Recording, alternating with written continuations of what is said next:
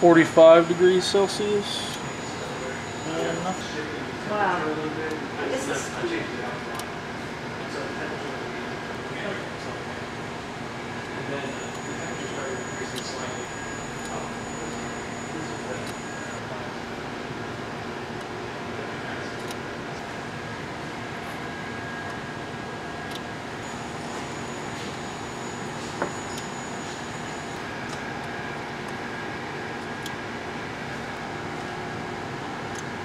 There it went.